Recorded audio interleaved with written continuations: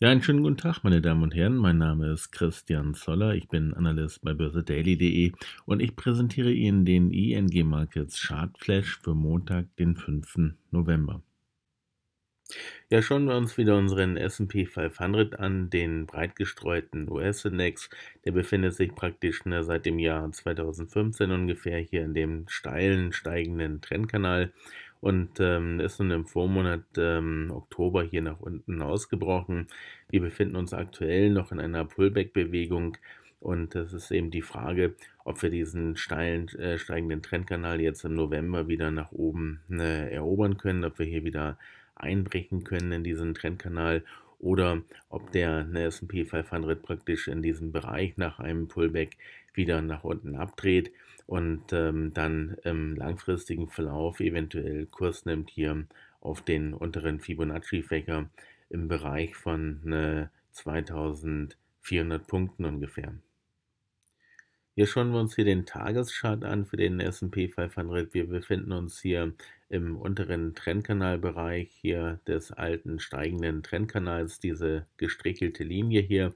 Ne, zugleich befinden wir uns auch unterhalb des ne, SMA 200, der ungefähr bei 2765 Punkten verläuft und unterhalb dieser ne, Zone praktisch ne, ist der Index weiterhin eine Short gefährdet. Also es ist weiterhin damit ähm, zu rechnen, dass der Index hier wieder nach unten abdreht und noch einmal den Bereich hier des unteren großen Trendkanals anläuft, eine, eventuell aber auch schon hier bei der Unterstützung um 2700 Punkte wieder nach oben abdreht. Das sind hier aktuell die beiden wichtigen Marken nach unten.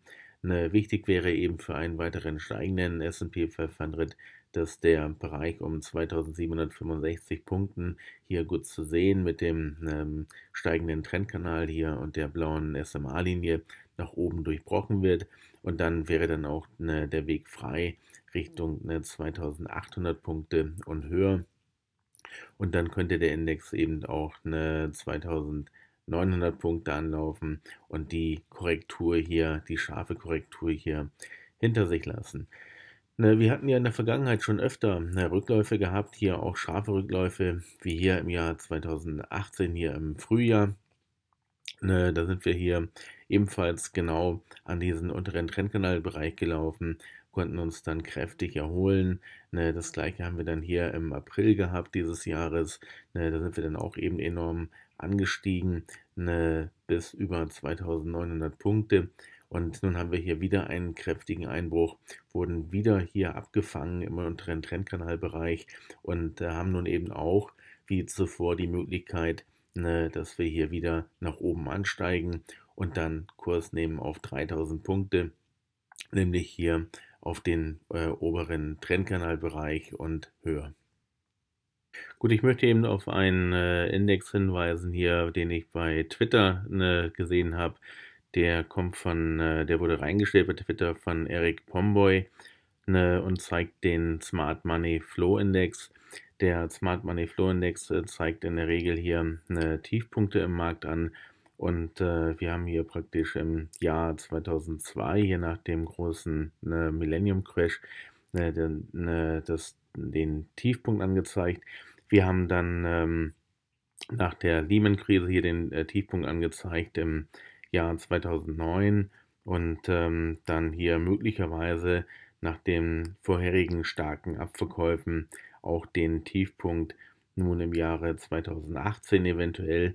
Ne, wir befinden uns nämlich hier auf dem tiefsten Stand äh, seit Januar 1996 und ähm, das sind eben ähm, Extremitäten, die man einfach nicht ne, beiseite schieben kann ne, die eben auch darauf hindeuten, ne, dass wir die Markttiefs eventuell gesehen haben im S&P 500 und der Index dann eben auch weiter ne, nach oben abdreht. Natürlich können noch äh, temporä temporäre äh, Korrekturen auftreten, aber ne, es ist eben ein weiterer Indikator auch dafür, ne, dass wir von den Tiefs, die wir gesehen haben, weiter nach oben abdrehen und eben wieder Kurs nehmen auf über 2800 Punkte und langfristig auf 3000 Punkte.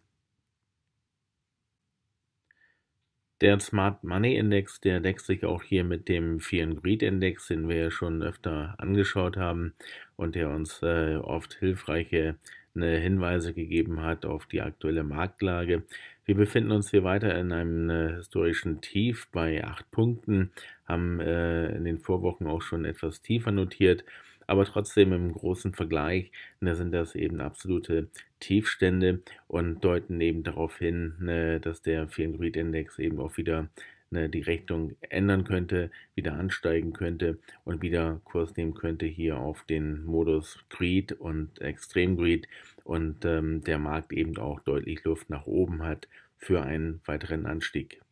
Gut, dann wären wir wieder durch für heute mit dem S&P 500. Ähm, es ist eben äh, aktuell noch nicht genau klar, ob wir nur einen Pullback haben und der Index wieder nach unten abdreht oder ob wirklich der Durchbruch über eine 2765 über den 200er SMA eine, nach oben gelingt und eben ähm, der Index vor einem weiteren Anstieg steht. Richtung 2800 und äh, 2900 Punkte.